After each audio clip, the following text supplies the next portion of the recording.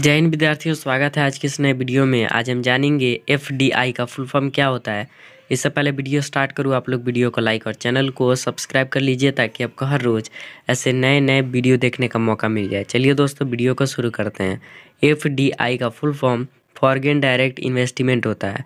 आज की इस वीडियो में इतना ही। आशा करता हूँ वीडियो पसंद आया होगा। पसंद आया तो वीडियो को लाइक और चैनल को सब्सक्राइब कर लीजिए। तब तक मिलता है अगले नए वीडियो में। धन्यवाद।